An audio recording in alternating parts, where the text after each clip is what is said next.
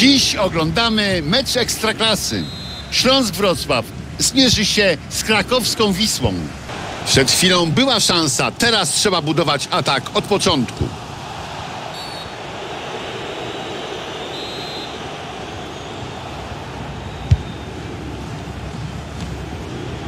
I bramkarz górą.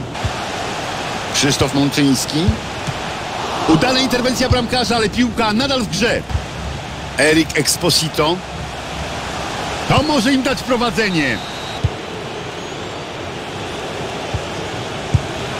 A jakim cudem to obronił. Nie miał prawa sięgnąć tej piłki. Dośrodkowanie z narożnika boiska. Wybronił, ale piłka dalej w grze. Brown Forbes. Mierzona piłka wprost za plecy obrońców. Świetnie rzucił prostopadle. Popisowo zmarnowana sytuacja. Mamy remis, ale widzimy wyraźną przewagę jednej drużyny. Ma piłkę, co z tego wyniknie? Dobrze się znalazł bramkarz, ale to nie koniec zagrożenia. Brown Forbes. Wymarzona okazja!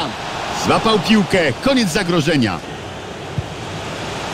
Będzie bramka! No, nareszcie mamy trafienie, a do końca meczu już niewiele pozostało. Są dwie możliwości. Jedna, że ten gol rozstrzygnie o końcowym wyniku, druga zaś, że obejrzymy teraz szybką wymianę ciosów. Słowa uznania za wykończenie akcji, ale wszystko zaczęło się od tego odbioru. Przysnął obrońca, nie utrzymał piłki i to nie mogło się skończyć inaczej. Jakub Błaszczykowski.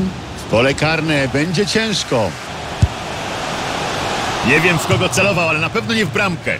Być może ostatnia szansa na odmianę wyniku w tym spotkaniu. Znakomicie bramkarz, duże brawa za tę interwencję. I koniec spotkania. Wisła Kraków zostaje bez punktów.